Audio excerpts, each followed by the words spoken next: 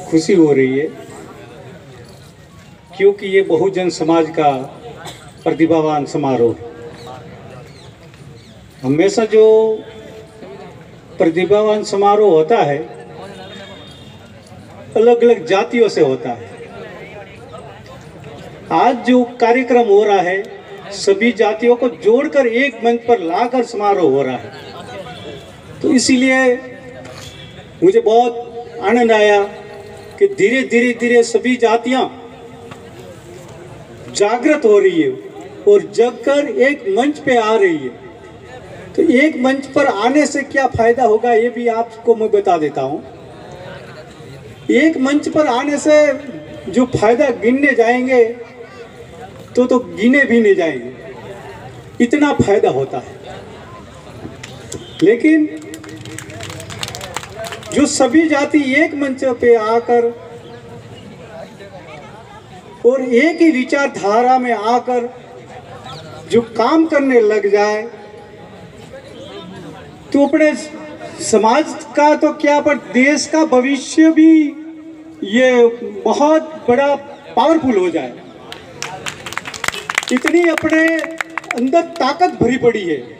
ये भारत देश, विशाल देश है, वो भारत देश के अंदर इतनी ताकत भरी पड़ी है, इतनी ताकत भरी पड़ी है कि किसी देश का कोई ऊँची ऊँची ऊँची नज़र कर भी देख नहीं सकता, इतनी अपने अंदर ताकत भरी पड़ी है, लेकिन क्या करें? अपने अंदर फूट डाल दिए। अलग अलग जातियों के अंदर बांट दिया है।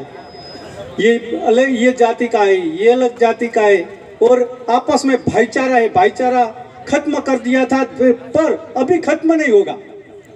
अब धीरे धीरे वो भाईचारा बढ़ता ही जा रहा है, बढ़ता ही जा रहा है। आज यहाँ उसका उदाहरण है। सभी मिलकर अपने काम कर रहे हैं, हर जाति के सभी के। और जो सभी जाति मिलकर एक मंच पर, एक विचारधारा में आकर जो आप खड़े होकर फूंक लगा लो एक दिन के अंदर तो ये छोटे छोटे पहाड़ों की तो क्या बात है? हिमालय जैसा पहाड़ होगा तो बीच में तो वो भी हिलने लग जाएगा। इतनी आपके अंदर ताकत भरी पड़ी है। वो ताकत का आप अभी उपयोग कर रहे हो। तो आप जो ये कम, आयोजन कमेटी है उनको भी मैं बहुत बहुत धन्यवाद देना चाहता हूँ। क्योंकि हमेशा के लिए तो अलग अलग जाति से तो अपने अपने करते आए हैं। लेकिन उन्होंने सभी को बुलाकर सभी बहुजन समाज का जो कार्यक्रम किया है तो उन्होंने बहुत बड़ी मेहनत की होगी। जालोर जिला का ये कार्यक्रम है एक तहसील का नहीं है। तो उन लोगों को बहुत बहुत धन्यवाद। और ये कार्यक्रम की जो आप लोगों ने आकर यहाँ शोभा बढ़ाई है, ये कार्यक्रम को सफल बनाया है तो आप लोगों को भी बहुत बहुत धन्यवाद। और जो ये मंच पर विराजे सभी अतिथिगण, उनको भी बहुत बहुत धन्यवाद। और सामने विराजे हुए जो ये लगभग ज़्यादातर कर्मचारी गण है कर्मचारी गण है और बड़े बुज़ुर्ग भी है छात्र छात्राएँ भी है।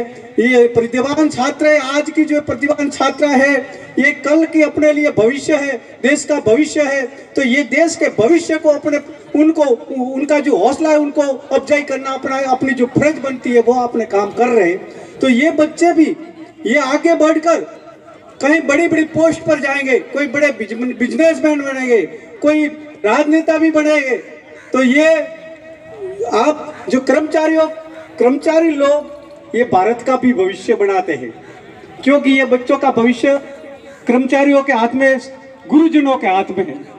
जो गुरुजन इन बच्चों को अच्छी शिक्षा, आदर्श शिक्षा देकर आदर्श विद्यार्थी तैयार करेंगे तो वो आदर्श नागरिक बनेंगे, आदर्श जो अफसर बनेंगे आदर्श कर्मचारी बनेंगे, आदर्श नेता बनेंगे तो भारत का भविष्य भी उज्जवल ही बनेगा।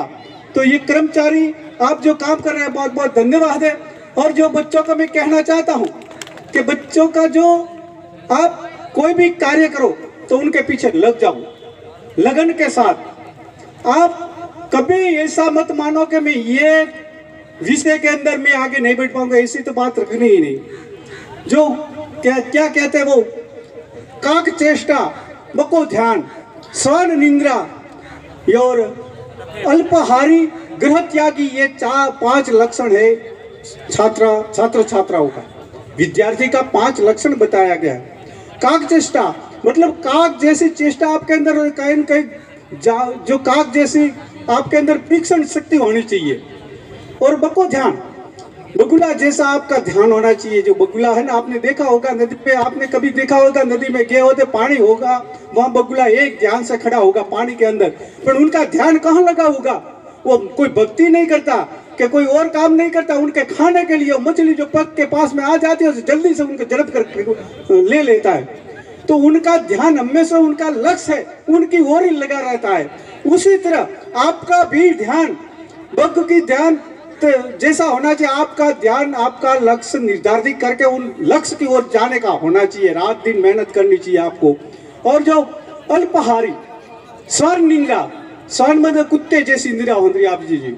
जो कुत्ता सोया होता है नींद में सोया तो मामूली थोड़ी सी जो कोई चेष्टा कर लेता है या कोई आवाज़ कर देता है तो कितना फट जग जाग कर एकदम बिल्कुल खड़ा हो जाता है। उसी तरह आपका भी जीवन होना चाहिए। और जो अल्पहारी पेट भर के ज़्यादा खाने से भी आलस आ जाती है वो पढ़ नहीं पाता है। तो खाना खाना है उपवास नहीं करना है। जो आप उपवास करोगे तो भी आप हम्म, पढ़ने में आपको डिस्टर्ब होगी। अल्पहारी खाना ज़रूर खाना पर लिमिट में खाना। और ग्रह त्यागी ग्रह त्यागी मतलब घर को त्यागना नहीं हो मेरे जैसे पकड़ने हो ना किसी को कृपा करके। क्या है आगे बा, बाप जी ने कह दिया है कि ग्रह त्याग तो अपने ग्रह ग्रह त्याग करके अपने सन्यासी हो जाए बाबा हो जाए। बाबा नहीं होना अपने। अपने ग्रह त्यागी मतलब जब तक आप अपने पैरों पर अपने लक्ष्य तक नहीं पहुंचो तब तक घर को पर ध्यान कम रख कर उन लक्ष्य की ओर ध्यान दो। जब तक जब आप अपने लक्ष्य पर पहुँच जाओ, तब क्या घर भी संभालना पड़ेगा, सब कुछ करना पड़ेगा? तो आप विद्यार्थी का ये पाँच लक्षण है। और आपके लिए जो अभी का समय है, ये प्रतिभान छात्र, छात्राओं का जो अभिमान, अभी जो अभी का जो समय है, विद्यार्थी समय समय है, बहुत अमूल्य समय है, बहुत कीमती समय है। उन समय को आप दुरुपयोग तो बिल्कुल करना ही नहीं, एक सेकंड भी दुरुपयोग नहीं करना है। उनको हमेशा सदुपयोग करना है। जो आप अभी जो आप लोगों ने ये समय का सदुपयोग कर लिया तो आपके लिए समय भविष्य बना देगा और आपका भविष्य उज्जवल बन जाएगा। तो ये आप ये समय का समय को खास ध्यान कर, रख कर पढ़ाई करें और आपके पास में बड़े बड़े मोबाइल तो है ही। क्योंकि आज पढ़ाई मोबाइल मोबाइलों से हो रही है, ऑनलाइन पढ़ाई हो रही है, बच्चों को मोबाइल की ज़रूरत तो है, लेकिन ये मोबाइल का उपयोग करना है। तो मोबाइल का उपयोग करके आपको आगे बढ़ना है। वो पीछे हटने का उपयोग मत करना, कृपा करके जो मोबाइल के अंदर सभी प्रकार का जो है शिक्षण आता है, सभी प्रकार की जानकारी आती है। तो क्या जानकारी की ज़रूर है, वही जानकारी आप अभी लेकर आप आगे बढ़ना है। मोबाइल का दुरुपयोग बिल्कुल नहीं करना है। सदुपयोग करके जो आप आगे बढ़ोगे तो ये मोबाइल भी आपका भविष्य बना देगा। तो आप सभी यहाँ आकर ये कार्यक्रम की शोभा बढ़ाई। बहुत बहुत धन्यवाद। और प्रतिभान छात्र छात्राओं को मेरी ओर से बहुत बड़ी शुभकामना के आगे जाकर कोई I S I, R S I A P S अफसर बने और देश और समाज का काम करे। बहुत बहुत धन्यवाद। और सभी मेहमानों को भी बहुत बहुत धन्यवाद। जय भीम, जय भारत।